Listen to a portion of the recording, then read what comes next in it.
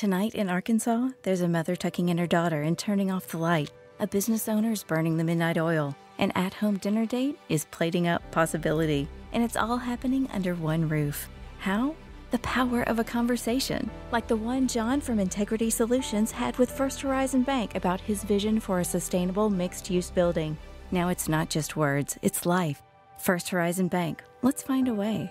Go to firsthorizon.com slash John.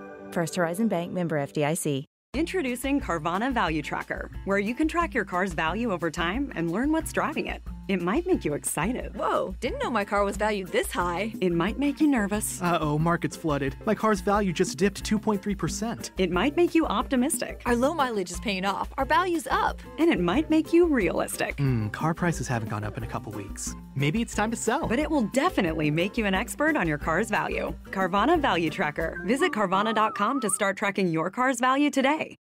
This is Spacetime Series 20, Episode 55, for broadcast on the 14th of July 2017.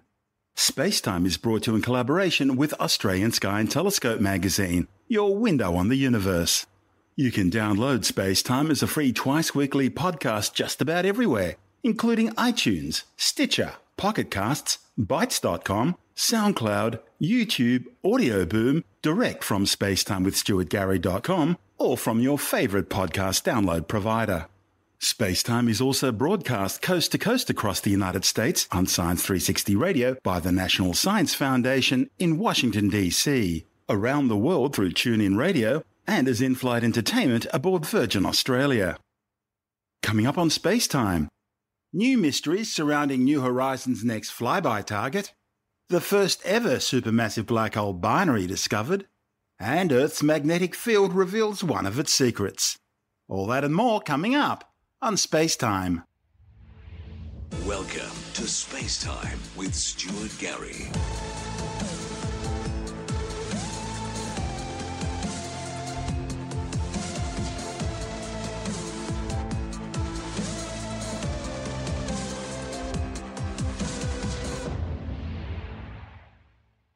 NASA's New Horizons spacecraft won't be reaching its next target until January the 1st, 2019. But the Kuiper Belt Object 2014 MU69 is already revealing some surprises. The unexpected findings have come while scientists were sifting through data gathered from observing MU69's transit or occultation in front of a distant star. The event, which occurred on June 3rd, saw more than 50 mission team members and collaborators set up telescopes across South Africa and Argentina along the predicted track of the occultation, hoping to catch a two second glimpse of the event. Accomplishing the observations of that occultation was made possible with the help of NASA's Hubble Space Telescope and the European Space Agency's Gaia Space Observatory. Combined, the telescopes captured more than 100,000 images of the occultation star. They can be used to assess the environment around MU69, which is some 1.6 billion kilometres beyond Pluto. And the data has provided some valuable and unexpected insights. Occultation team leader Marc Buie from the New Horizons Science team at the Southwest Research Institute in Boulder, Colorado, says the data shows MU69 might not be as dark or as large as some expected. Initial estimates of MU69's diameter, based primarily on data taken by the Hubble Space Telescope since the Kuiper Belt object's discovery in 2014, indicated it was between 20 and 40 kilometres in diameter. However, the new occultation data indicates MU69 could actually be less than 20 kilometres wide. Besides MU69's size, the readings offer new details on other aspects of the Kuiper Belt object. New Horizons principal investigator Alan Stern, who's also from the Southwest Research Institute, says the new findings are telling scientists something really interesting. The fact that astronomers accomplished the occultation observations from every planned observing site, but still didn't actually detect MU69 itself, could mean that it's either very highly reflective or it's an awful lot smaller than expected. In fact, it may actually be a binary system, two lumps of space rock orbiting each other, Alternatively, it could be a swarm of smaller bodies left over from the time when the planets first formed 4.6 billion years ago. More data is now being gathered by Stern, who's flying aboard NASA's SOFIA, the airborne stratospheric observatory for infrared astronomy aircraft, a specially modified Boeing 747 SP fitted with a side mounted 2.5 metre telescope. SOFIA, which is currently flying out of New Zealand, is probing the space around MU 69 for debris which could present a hazard for the New Horizons spacecraft when it flies by the object in 18 months' time. Earlier Hubble Space Telescope data suggested MU69 was as red, if not redder, than Pluto, and next week the Hubble Space Telescope will again check for debris around MU69, while team members set up another ground based fence line of small mobile telescopes along the predicted ground track of another occultation shadow, this one in southern Argentina, and hopefully aiming to better constrain or even determine the exact size and constituency of MU69 itself. As for the New Horizons spacecraft itself, it's currently in hibernation mode as it continues its journey through the dark outer reaches of the solar system beyond Pluto. Mission managers at Johns Hopkins University in Laurel, Maryland put the probe to sleep back in April and don't expect to awaken it again until September the 11th. The spacecraft, which undertook the first ever close up visit to the Pluto system in July 2015, is now more than 6 billion kilometres from Earth. It took New Horizons more than 16 months to send back all the data gathered during that historic Pluto flyby. You see, at that distance, radio commands take over five hours to reach the probe, and then another five hours to get back to the dishes of NASA's Deep Space Communications Network. Mission managers are currently still developing detailed command loads for the MU 69 encounter. They'll shape the science observations for much of the nine day flyby. Meanwhile, the final streams of data from that historic Pluto flyby show that the 2,400 kilometre wide dwarf planet appears to be mostly cloud free. However, a few wispy cloud patches were detected, indicating weather on Pluto could be far more complex than previously thought. New Horizons also confirmed that Pluto's icy surface below that atmosphere varied widely in brightness. The new data also shows the brightest areas in places such as sections of Pluto's large heart shaped region are among the most reflective in the solar system, and of course that must be indicating recent surface activity of some sort. While Pluto shows many different kinds of activity, one surface process apparently missing are landslides. Surprisingly, though, landslides were spotted on Pluto's binary partner Charon.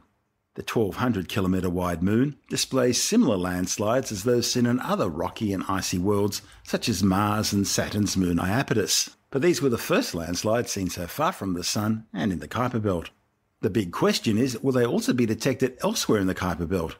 Both Hubble and cameras aboard New Horizons spacecraft have been aimed at the Kuiper Belt over the past few years, with New Horizons taking advantage of its unique vantage point to observe at least a dozen small worlds in this barely explored region. So far, MU69 is the smallest Kuiper Belt object to have its colour measured.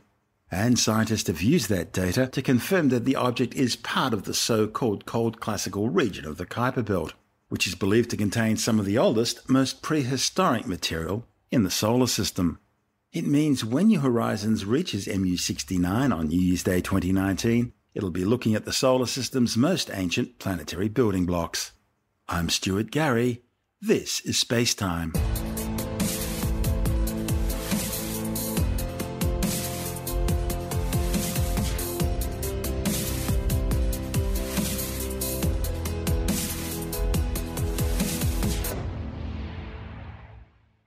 Astronomers have for the first time ever discovered two supermassive black holes orbiting each other in a single galaxy. The study, reported in the Astrophysical Journal, claims the new detection will provide new clues to astronomers about the process of galaxy mergers and galaxy evolution. You see, galaxies grow by merging or cannibalizing each other. For example, right now, our own galaxy, the Milky Way, is stripping a steady stream of stars and gas from two neighboring satellite galaxies, the Large and Small Magellanic Clouds. It's also cannibalizing at least one other galaxy we know of, the Sagittarius Dwarf Galaxy, and will itself soon be absorbed into the even larger Andromeda Galaxy M31 in about 3.7 billion years from now. Almost all galaxies are thought to contain a central supermassive black hole, millions to billions of times the mass of our Sun. The one at the center of the Milky Way, Sagittarius A star, is some 27,000 light years from Earth and contains some 4.3 million times the mass of our Sun. Astronomers want to better understand how these central supermassive black holes react as their surrounding galaxies merge, how the supermassive black holes themselves merge, and how that affects the evolution of the galaxy around them. And in order to try and achieve this goal, scientists have been searching the heavens for pairs of supermassive black holes in close orbits around each other, a sign that the galaxy's undergone a merger in recent astronomical time. Since 2003, astronomers using the Very Large Array Radio Telescope in New Mexico, the one made famous in the movie Contact, have been monitoring the distant elliptical radio galaxy 0402 plus 379, which is located some 750 million light years away. Elliptical galaxies are thought to form out of galactic mergers. And radio galaxies are so called because of their strong radio signals generated by an active galactic nuclei in other words, a feeding supermassive black hole. The authors detected what appeared to be a pair of supermassive black holes orbiting each other near the very heart of this galaxy. One of the study's authors, Professor Greg Taylor from the University of New Mexico, says even though astronomers have theorized that this is what should be happening during a merger, no one's actually ever seen it until now. And what a sight it is! The two black holes are truly huge, with a combined mass some 15 billion times that of our Sun and that makes them among the biggest black holes ever detected. They're currently orbiting each other every 30,000 Earth years at an average distance of about 22 light years, making them the closest supermassive black holes to each other ever seen. And the superlatives don't end there. From Earth, the pair appear to be moving across the sky at a rate of just over a micro arc second per year. That's an angle about a billion times smaller than the smallest thing visible with the unaided human eye. Therefore, if confirmed, their detection will also be one of the smallest ever recorded movements of an object across the sky. Mind you, don't expect anything too quickly. It's not like you need to set up your gravitational wave detectors tomorrow to get ready for the coming gravity waves. Based on their current orbital speed and distance, this supermassive black hole binary is still too far apart to merge anytime soon. To find out more, Andrew Dunkley speaking with Dr. Fred Watson from the Australian Astronomical Observatory. They've been looking for this phenomenon for a very long time. Indeed, they have, and now they've found it. So these are observations made with an array of radio telescopes, which is situated in New Mexico. It's called the Very Large Array, the VLA. The VLA is capable, because it's a, a gigantic array of radio telescopes, as I said, situated in New Mexico, it's capable of resolving or probing fine detail in space, almost second to no other facility in the world. And that's because by separating these various radio antennae, you can actually probe very finely what's going on in the depths of the universe. So the astronomers conducting this research have basically locked onto a radio galaxy with the eloquent name of 0402 plus 379. Nice. Which, yes, it's a nice one, yeah. So, what the gentlemen and ladies of the University of New Mexico have been doing is using this very large array to look at this galaxy in fine detail, and they've detected evidence of black holes. Now, black holes don't shine, they're black, but what they do is they gather material around them, which basically is being swallowed up. It doesn't just sort of go straight down, it basically swirls around the black holes in a thing we call the accretion disk. It's because the black hole is accreting or collecting material. And the accretion disk is a very high energy part of the universe because all this stuff is banging into its neighbors, jostling along, and it actually emits radiation at quite a range of wavelengths, including X rays and infrared rays and radio waves, which are what have been picked up. So two black holes detected in the center of one galaxy. Mm. And that is the smoking gun for this galaxy having grown to its present size by merging with another galaxy. We think all galaxies have a supermassive black hole at their center. Ours has one, eh, there's an accretion disk around it, and that's all very well behaved because it's so far away. But in this case, these two black holes have a combined mass of 15 billion times that of the sun. Wow. So they are actually right at the upper range of of these this species of object, supermassive black holes. So the fact that there are two of them kind of points towards the idea that there has been a merger between two galaxies, and what we're seeing is the the, the sort of end product of that merger, and that is two black holes gradually spiraling around one another until they eventually coalesce. I was going to ask about, you if they if they will combine or collide or whatever it is they're going to do. They will, but apparently they're moving so slowly at the moment that the estimated time to that coalescence is something like three times the present age of the universe, which, oh. by which time people tend to have lost interest in this kind of thing. How do they know that they're swirling around one another? That's the trick, and that's the key to this research. And it's what makes it such a stunning piece of astronomy. The resolution of this radio array, by that I mean its ability to pinpoint fine detail, it's such that they've actually detected the motion of one black hole relative to the other. Ah. Um, uh, they're measuring changes in angle of something like a millionth of an arc second per year. Now, an arc second is the angle that a one dollar coin subtends at your eye if you hold it up five kilometers away. Oh. So you get somebody to hold a coin up, a one dollar coin, and you're five kilometers away from it. The angle that that coin makes in your eye is one arc second. But these guys are detecting one millionth of that amount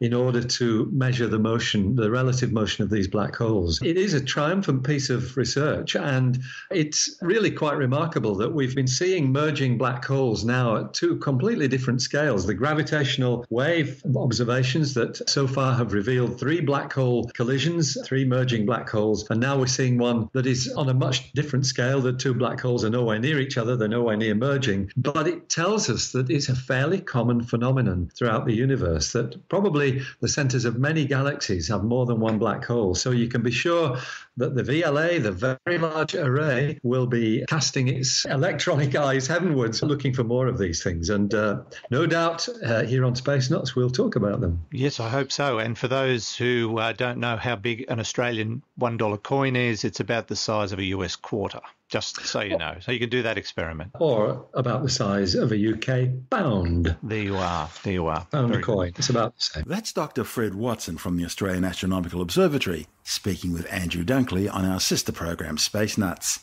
And this is Space Time. I'm Stuart Gary.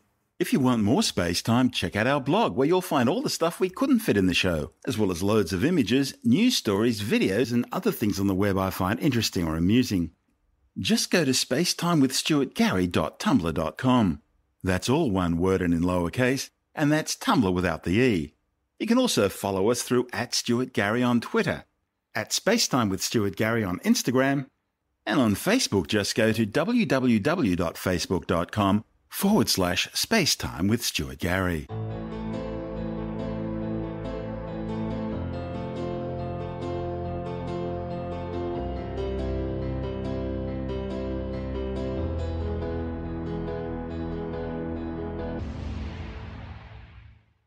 Scientists have identified previously unknown patterns in Earth's magnetic field, which appear to evolve over timescales on the order of a thousand years. The pattern, known as paleomagnetic secular variation, provides new insights into how the planetary magnetic field works by adding a measure of predictability into changes in the field not previously known. A report in the Journal of Earth and Planetary Science Letters claims the discovery could mean Earth's magnetic field may be far simpler than previously thought. The discovery will also allow scientists to study the Earth's past with far greater resolution by using this geomagnetic fingerprint to compare sedimentary cores taken from the Atlantic and Pacific Oceans. The Earth's magnetic field is generated by the planet's liquid outer core of iron, nickel, and other metals, which create electric currents that in turn produce magnetic fields. This geomagnetic field is critical for the survival of life on Earth. Without it, charged particles from the sun, known as the solar wind, would erode away Earth's thick protective atmosphere. That's what happened on Mars billions of years ago when its magnetic field shut down, turning the red planet from a warm, wet world with oceans and rivers, once suitable for life as we know it, into the barren, freeze dried desert it is today. The magnetic field also protects the Earth from the majority of the solar and cosmic radiation which constantly bombards the planet. It provides the framework for those spectacular auroral displays of the northern and southern lights which are seen at higher latitudes, and it acts as a vital aid for both animal migrations and human navigation. Centuries of human observation as well as the geologic record show that our planet's magnetic field changes dramatically in its strength and structure over time. Yet, in spite of its importance, many questions remain unanswered about why and how these changes occur. The simplest form of magnetic field emanates from a dipole, pair of equally and oppositely charged poles, like a bar magnet. However, the study's lead author Maureen Walczak from Oregon State University says scientists have known for some time that the Earth isn't a perfect dipole, and researchers can see these imperfections in the geologic record. Walczak says scientists are finding out that non dipole structures are not heaven sent unpredictable things. Instead, they're very long lived, recurring over 10,000 years, and persistent in their location throughout the Holocene. The authors describe these non dipolar structures as something of a holy grail discovery, though not perfect. Still, it's an important first step in better understanding the magnetic field and synchronizing sedimentary core data at a finer scale. Some 800,000 years ago, a magnetic compass needle would have pointed south because Earth's magnetic field was reversed. And we now know that Earth's magnetic poles flip at regular intervals every 200,000 to 300,000 years. However, with the last occurring over 780,000 years ago, it means we're already well overdue for the next polarity reversal. A strange geomagnetic feature off the Argentinian coast known as the South Atlantic Anomaly, which appears to have a northern polarity, may be the first signs of this long awaited pole reversal. The anomaly is a major geomagnetic feature of this planet. In fact, Earth's Van Allen radiation belts are affected above the South Atlantic anomaly, dropping closer to the planet's surface than at any other location. And that leads to an increased flux of energetic particles in this region, exposing spacecraft to higher than usual levels of radiation. In fact, NASA even shuts down Hubble Space Telescope operations to take account of this anomaly when orbiting above it. While scientists are well aware of the pattern of reversals in Earth's magnetic field, the newly discovered secondary pattern of geomagnetic wobble within periods of stable polarity, known as paleomagnetic secular variation or PSV, may be key to understanding why some geomagnetic changes occur. Earth's magnetic field doesn't align perfectly with the axis of rotation, which is why true north differs from magnetic north. And this change is constant, as any pilot will tell you, Every day they've got to readjust the magnetic compass to take account for this change. Earth's magnetic north pole has slowly been creeping northwards by more than about 1,100 kilometres since the early 19th century when explorers first located it precisely. And interestingly, it's now starting to move faster, with scientists measuring it migrating northwards at about 75 kilometres per year, which is four times faster than what it was doing in the early 20th century. In the Northern Hemisphere, this disparity between North Magnetic Pole and True North is apparently driven by regions of high geomagnetic intensity that are centered beneath North America and Asia. However, until now, scientists hadn't known if this snapshot had any sort of longer term meaning. This new study shows that it does. Selling your car to Carvana is as easy as. As easy as pie? Sure. All you have to do is enter your license plate or VIN. As easy as a stroll in the park. Okay, then just answer a few questions and you'll get a real offer in seconds. As easy as singing. Why not? Schedule a pickup or drop off, and Carvana will pay you that amount right on the spot. As easy as playing guitar. Actually, I find that kind of difficult. But selling your car to Carvana is as easy as. Can be. Visit Carvana.com or download the app to get an instant offer today. When the magnetic field is stronger beneath North America, placing it in what scientists call the North American mode, it drives steep inclinations and high intensities in the North Pacific, and lower intensities in Europe with westward declinations in the North Atlantic. This is more consistent with a historical record. The alternative European mode is in some ways the exact opposite, with shallow inclination and low intensity in the North Pacific and eastward declinations in the North Atlantic with higher intensities in Europe. It all means the magnetic field may be somewhat less complicated than scientists thought. It seems to be a fairly simple oscillation, which seems to result from geomagnetic intensity variations at just a few recurrent locations with large spatial impacts. Like with much of science's understanding of Earth's magnetic field and the geodynamo which generates it, scientists still don't know what's driving this variation. They think it's likely to be a combination of factors, including convection in the outer liquid core, which may be biased in configuration by the lowermost mantle. The authors identify this pattern by studying two high resolution sedimentary cores from the Gulf of Alaska that allowed them to develop a 17,400 year reconstruction of the paleomagnetic secular variation in that region. They then compared those records with sedimentary cores from other sites across the Pacific Ocean in order to capture a magnetic fingerprint. These magnetic fingerprints are based on the orientation of magnetite within sediment, which act as magnetic recorders of the past. The common magnetic signal found in the cores now covers an area spanning from Alaska to Oregon and over to Hawaii. Walczak says the magnetic alignment of distant environmental reconstructions using reversals in the paleomagnetic record are providing new insights into the past on a scale of hundreds of thousands of years. Development of the coherent paleomagnetic secular variation stratigraphy will allow scientists to look at this record on a scale possibly as short as just a few centuries. Means they'll be able to compare events between ocean basins and even get down to the nitty gritty of how climate anomalies are propagated around the planet on a scale relevant to human society. The fact that the Earth's magnetic field changes is well known, but the reasons why have remained a mystery. Now, this mystery may be a little closer to getting solved. This is Space Time. I'm Stuart Gary.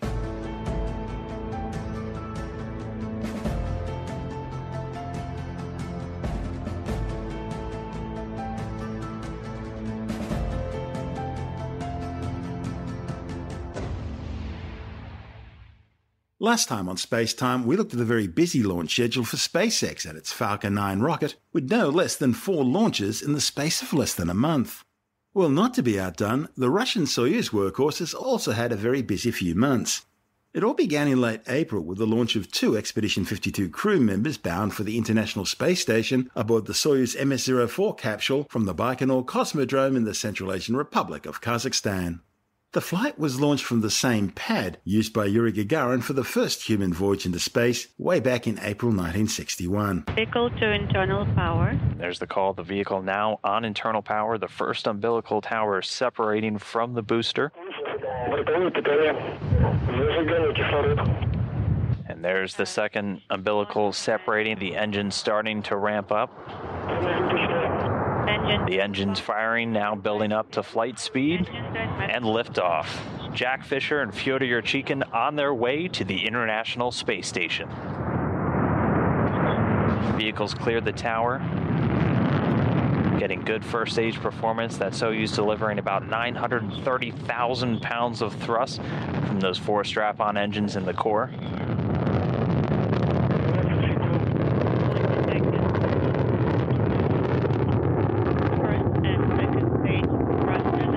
Getting good performance calls, nominal or normal so far for the first stage, continuing to operate well.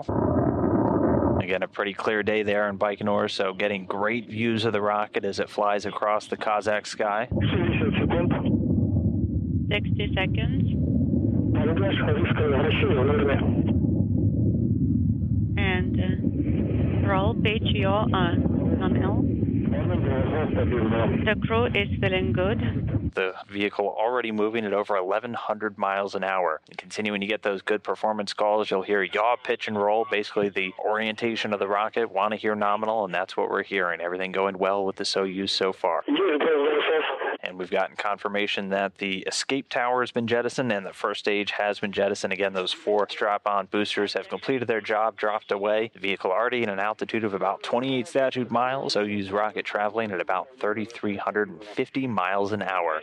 Thumbs up from Jack Fisher. Everything continuing to go great so far with this launch. The vehicle under the power now of the core stage or the second stage. And that's going to continue to fire until about 4 minutes and 48 seconds into the flight. Second stage thrusters are operating nominally. Getting confirmation the launch shroud has been jettisoned, so the Soyuz vehicle now exposed. Everything going right per the timeline so far with today's launch. Second stage continuing to perform great uh, from all the reports coming in, just past the three minute mark since liftoff. At this point, the Soyuz already traveling over 4,700 miles per hour.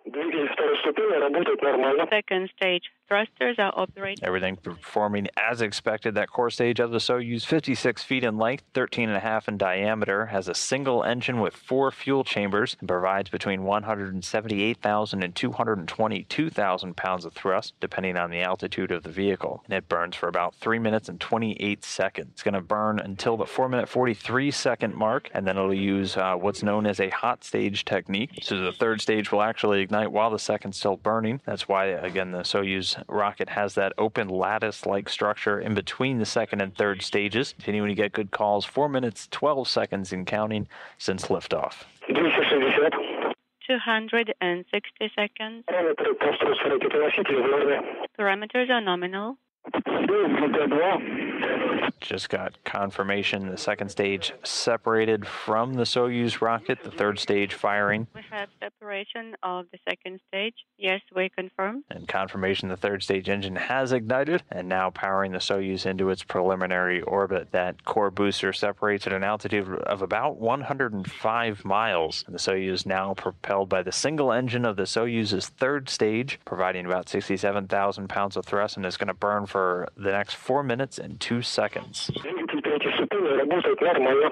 Third stage thrusters operating nominally.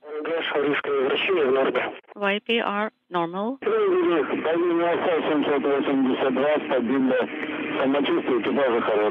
SI pressure is 782. The crew is feeling good. Copy. Getting reports the crew feeling good. Everything continuing to go great again. The Soyuz's third stage now powering it.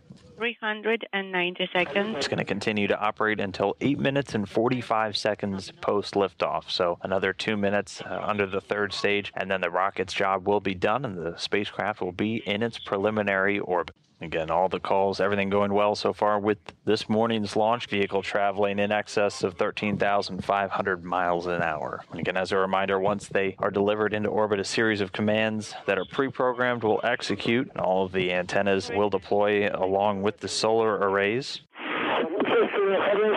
Stabilization nominal. Third stage should be cutting off. And the third stage has cut off and separated. The Soyuz FG launch vehicle was flown on a six hour fast rendezvous trajectory to the space station, cutting two days off the normal journey time. The lower than usual two person flight crew is part of a decision by the Russian Federal Space Agency Roscosmos to cut down the number of participating Russian cosmonauts aboard the orbiting outpost. Then in May, Arianespace launched the Soyuz 21A rocket from the European Space Agency's Kourou spaceport in French Guiana, carrying the SES-15 telecommunications satellite into geostationary orbit. À tous de DDO, attention pour le début de la séquence d'allumage du lanceur. Top à 0-20 secondes. Largage du mât VKM. Allumage triétage. Attention pour le décompte final. 10, 9, 8, 7, 6, 5, 4, 3, 2, 1. Top. Décollage. Lift-off. Bonne stabilisation du lanceur. Paramètres propulsifs sont normaux. And they are off. SES 15 has begun its long journey. Raymond Boyce, the range operations manager, is telling us that everything nominaux. Is going according to plan. Les paramètres sont nominaux. Everything's normal. We're heading east. That's unusual for Soyuz. Normally it goes north. We're going east today because we're carrying a satellite headed to geostationary orbit. Propulsion premier, deuxième étage, nominal. And we are coming up now to the scheduled moment when we jettison the boosters. Séparation des moteurs du premier étage, séparation des boosters, AVGD. That's all been confirmed now. So we're burning the main core stage. Going to burn for about three more minutes. Altitude. 81 kilometers ah, above the Earth and climbing. We're heading towards the Kármán line. That's the border between space and our atmosphere. It's where the atmosphere becomes nominal, trajectoire nominale. So thin that it can no longer support vehicles with wings. So it's where aeronautics ends and astronautics begins. The top of the vehicle, the nose, that's called the fairing. The satellite is inside there. Paramètres de structure du lanceur sont nominaux. And it's been protecting the satellite from the rigors of the launch so far. So, from the acoustic vibrations at liftoff, it's very loud, you can just imagine. And also from friction, because we have been traveling through the dense part of the atmosphere. But now the atmosphere is so thin that we don't need it anymore. It's able to be jettisoned. Séparation coiffe. And that's separation of the fairings been confirmed. Distance from the pad, 432 kilometers. That's if you were to draw a straight line along the Earth from the pad. This is the scheduled separation now of the second stage and ignition of the third stage. Those Allumage du parts, troisième étage, bloc I, extinction du deuxième étage, bloc A, séparation bloc A. and he's confirmed that. Soyuz has uh, what's called, or uses rather, a hot stage technique, which means that Largage de la section arrière du troisième étage, bloc I. It switches on the third stage engine before switching off the second stage. A word about our confirmations. We get our actual confirmations de structure du lanceur sont nominaux. of those milestones just fractionally later. That's because it uh, takes the information a little bit of time to get to the range operations manager here at the Guiana Space Center from the launcher, and that's because it goes via Moscow, where it's validated before coming to the launch control center here at the CSG, CSG being the Guiana Space Center. He's telling us that everything is going nominally. Our speed, 4.63 kilometers per second. And we left the pad from the northeastern corner of South America. We lifted off 6 minutes and 46 seconds ago from the pad. télévision par la station de Natal au Brésil. And he's telling us that we have now picked up the signal at the Natal tracking station. It's on the northeastern coast of Brazil. The Soyuz used for Ariane spaceflight VS-17 was equipped with a Fregat MT upper stage, programmed with a new timing for the Fregat's second engine burn firing, designed to shave several weeks off the time it will take to transition the SES-15 spacecraft into service. Built by Boeing on a 702 SP satellite platform, the 2,302 kilogram spacecraft is the first satellite launched for the Luxembourg-based company using a Soyuz rocket to get to geostationary orbit. The SES-15 is a hybrid fitted with an additional 16 Ku band wide beam transponders as well as Ku and Ka band high throughput satellite capability serving North America, Mexico, Central America and the Caribbean. The satellite will provide in-flight Wi-Fi and entertainment services for commercial airline passengers, as well as specialist communication services for government and maritime networks. SES-15 is also carrying a Raytheon Wide Area Augmentation System hosted payload, which will enable the US Federal Aviation Administration to augment the Global Positioning Satellite System to improve aircraft navigation accuracy. Instead of conventional hydrazine fuel, the satellite's powered by a xenon electric propulsion system for orbit raising and in-orbit maneuvers. That means instead of lasting about 12 to 15 years, it could still be operational for at least 18 years. Just a week after the Ariane space launch, the Russian Federal Space Agency Roscosmos launched the Soyuz 21B rocket from the Plesetsk Cosmodrome 800 kilometers north of Moscow, carrying a new missile early warning defense system EKS-2 satellite. The flight was the first launch from the remote Plesetsk missile range in over a year. The new EKS satellites, codenamed Tundra, are replacing the Soviet-era OKO early warning system. The Russian military is planning a constellation of eight EKS satellites. All will be placed in highly elliptical Molniya orbits, which are designed to keep the spacecraft flying over polar regions for an extended period of time. The new EKS satellites are equipped with infrared sensors designed to detect heat sources, such as missile exhaust plumes. They're also fitted with optical and ultraviolet sensors, allowing them to track missiles in flight, providing faster warning times for potential targets. The launch sparked excitement in Tasmania with reports of UFOs seen across the sky. A notice to airmen or NOTAMs was issued prior to the launch, indicating that the Soyuz rocket's Fregat M upper stage would be re entering the Earth's atmosphere as space junk south of the Apple Isle. The Soyuz Glut was broken in June when Russia's previously unreliable Proton rocket made a return to flight status with its first launch in over a year. The year long grounding has been the longest in the Proton's 52 year history. The launch from the Baikonur Cosmodrome carried the EchoStar 21 telecommunications satellite. Nine hours and 13 minutes after launch, and following five engine burns from the Proton's Briz-M upper stage, the EchoStar 21 was successfully placed into its geostationary transfer orbit. EchoStar 21 is designed to provide S-band mobile connectivity across Europe for 15 years. The 6,871 kilogram satellite uses a Space Systems Loral SSL 1300 satellite platform, optimized to hold a large deployable antenna reflector capable of generating hundreds of communication spot beams to cover a wide area of the planet. The Proton had been grounded following the premature shutdown of the booster's second stage during a flight in June 2016. That mission's Intelsat 31 satellite payload did make it into geostationary transfer orbit. But the incident led Roscosmos to ground the Proton until the cause of the premature shutdown was uncovered. The ensuing investigation has revealed massive quality control problems with the Proton's Russian manufacturers. Then, just as the Proton was about to re enter service in December last year, a Soyuz U launch vehicle, which is the same upper stage as the Proton, also failed during launch, prompting yet another investigation and further delays. The Proton developed its reputation for unreliability following multiple failures in 2014 and 2015, mostly due to quality control problems. Less than a week after the Proton launch, the Progress MS-06 cargo ship blasted into orbit also from the Baikonur Cosmodrome, carrying fresh supplies to the crew of the International Space Station. The flight launched aboard a Soyuz 21A rocket, replacing the former Soyuz U launch system. Standing by for engine sequence start, T minus 10 seconds. Ignition. The launch command has now been issued. Engine start underway. Turbo pumps coming up to flight speed. Engine turbo pumps at flight speed. Engines at maximum thrust. And liftoff. Liftoff of the 67th Progress resupply vehicle bound on a two day journey to the International Space Station. Roll, pitch, and yaw program in. Booster parameters are all normal. First stage engine functioning normally. The Soyuz booster arcing out uh, to the northeast from the Baikonur Cosmodrome. Vehicle is stable. Engineers at the blockhouse in Baikonur report all parameters are normal. Good first stage engine. First stage engine shutdown and separation of the first stage coming at 1 minute 57 seconds into the flight.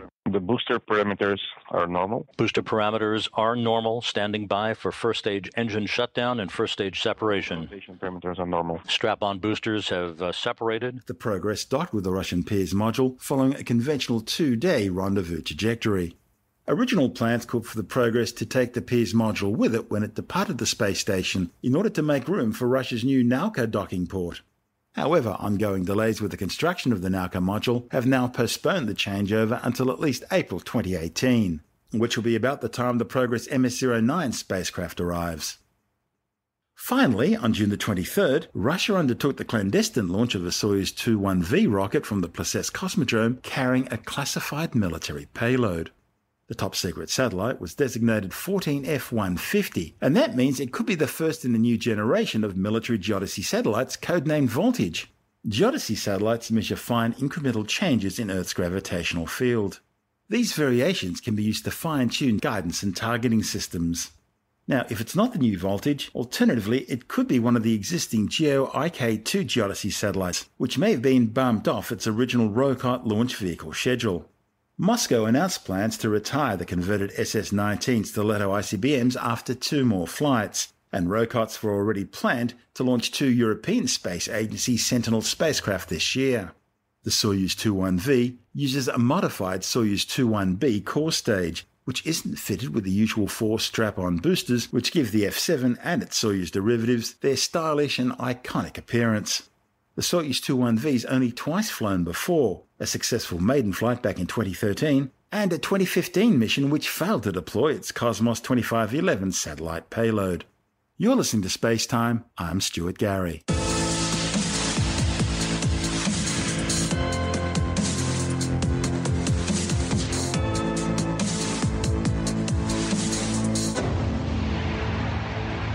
And that's the show for now. You can subscribe and download Spacetime as a free twice weekly podcast through iTunes, Stitcher, Bitesz.com, Pocket Casts, SoundCloud, YouTube, Audio Boom, your favorite podcast download provider, or direct from spacetimewithstuartgary.com. The show's also broadcast coast to coast across the United States on Science 360 Radio by the National Science Foundation in Washington, D.C around the world on TuneIn Radio and as part of Virgin Australia's in-flight entertainment. If you want more space time, check out our blog where you'll find all the stuff we couldn't fit in the show, as well as loads of images, news stories, videos, and other things on the web I find interesting or amusing. Just go to spacetimewithstuartgary.tumblr.com. That's all one word and in lowercase, and that's Tumblr without the E. You can also follow us through at Stuart Gary on Twitter, at Spacetime with Stuart Gary on Instagram, and on Facebook, just go to www.facebook.com forward slash spacetime with Stuart Gary. Spacetime is brought to you in collaboration with Australian Sky and Telescope magazine, your window on the universe. You've been listening to Spacetime with Stuart Gary. Subscribe at iTunes, Stitcher, Pocket Casts, or Audio Boom. This has been another quality podcast production from Bitesz.com.